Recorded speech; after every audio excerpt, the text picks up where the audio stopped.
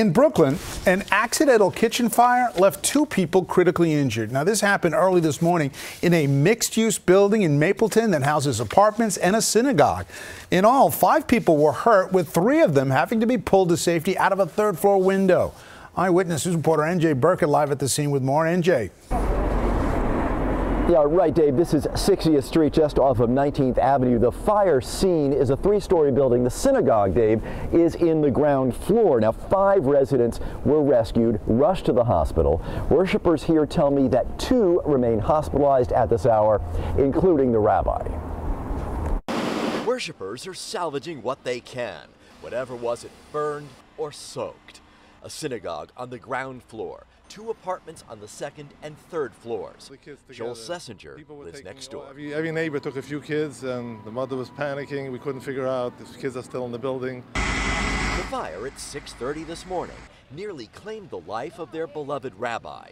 He and his immediate family were rescued by firefighters after they were overcome by the choking smoke. We saw the rabbi, his wife, and his, his I think his son, all dangling out of that, that window out there top window, and uh, you know, thank God the, the FDNY pull, pulled up and uh, we were able to get, get them out safely. Neighbors say nine children were among the residents, sleeping when the fire broke out in a kitchen in the second floor apartment.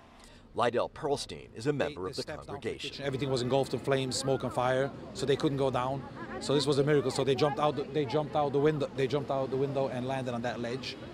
So when the fire department came, the three of them were hanging there, and you know, thanks to New York City's uh, bravest, they got here on time. They managed to put up the, the bucket, and they managed to escape. The synagogue is home to a small ultra-Orthodox congregation known as Darkei Chaim Stavnitz, a fixture in the community for more than a decade. The community is is pouring out support for whatever whatever is needed, and we're all praying and hoping that uh, you know they'll they'll have a speedy recovery and they'll be back for us.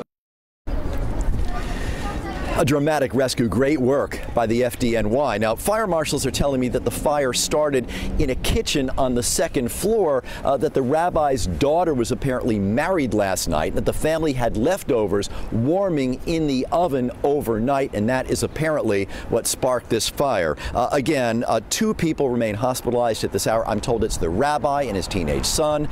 Both are expected to recover.